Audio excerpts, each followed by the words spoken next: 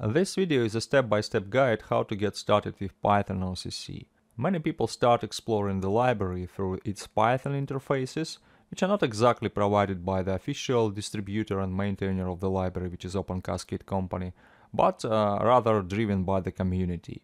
So if you want to get started with Open Cascade through its Python bindings, you can go to our forum at analysissitus.org and find a topic which is uh, Python OCC Get Started Guide. Here our community member Alexander prepared quite an amazing tutorial which is uh, very explanatory and actually you can just follow this tutorial and you will easily get started. And in this video let me just comment on what you will be doing. The first step would be to go and download Anaconda which is a sort of a distribution for Python surrounded with many useful packages especially if you are doing some data science but not necessarily. So we are not going to use any data science packages and still we are going to take advantage of this Anaconda to install our Python OCC environment. So once it is downloaded, you have to go through the installation process, which is kind of typical and I'm installing Anaconda distribution for all the users on my machine. Then I keep using the default installation folder for Anaconda on my machine and the next pretty important setting is not to allow Anaconda to mess up with your global environment by adding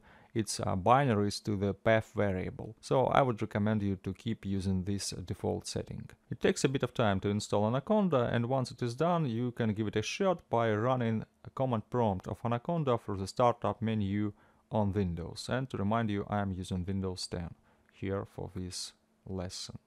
With this command prompt we are going to spend the rest of this screencast. And here what I want to do, I want to create an environment where my Python OCC will be deployed. To create the new environment, I'm just coming back to the forum and copying and pasting this conda create command here, passing there this pyoccenv as an environment name. You will be asked shortly to answer yes or no to some uh, questions which we do not care about that much, so just answer yes or press enter uh, key and you are done. The next step is to activate the just created environment. For that you go like conda activate then the name of your environment which is pyoccenv.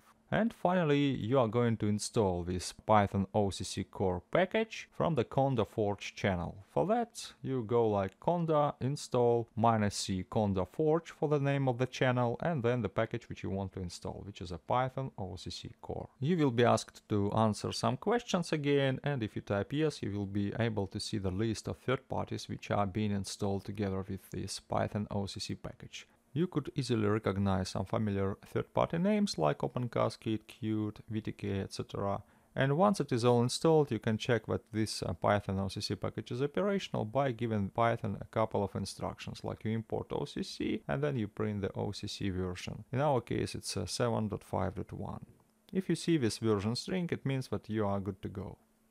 Now let's perform a somewhat less trivial exercise and for that I'm going just to grab a piece of code from the forum. Here we have a sample script and what it does it creates a simple box shape and also it visualizes this box in a 3D viewer. And yes you can have this 3D visualization just like if you had used these AIS visualization facilities which we've been talking about in one of the previous lessons. So the idea right now is to run the sample code from within this uh, Anaconda prompt which we have by typing this Python and file name to execute and you can see that I have like import error and it says that there is no compliant GUI library that can be imported. This is kind of expected and to fix that what we have to do we have to install this PySide2 package from the CondaForge channel just like we installed Python OCC core package before.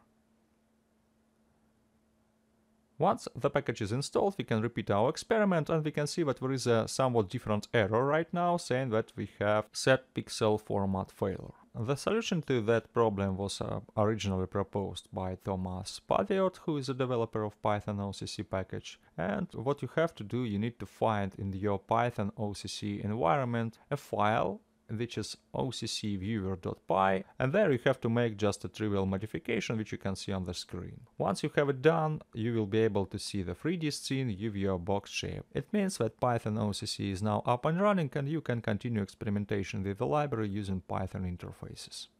Now to sum up what we have discussed, I'd like to say that Python OCC is a good choice to scientists and engineers In short, to all those people who have zero idea about C++ and who want just to get started with OpenCascade library and see what it can do for them. I hope that this video was useful and you now have a good idea how to get started with Python OCC. See you next time.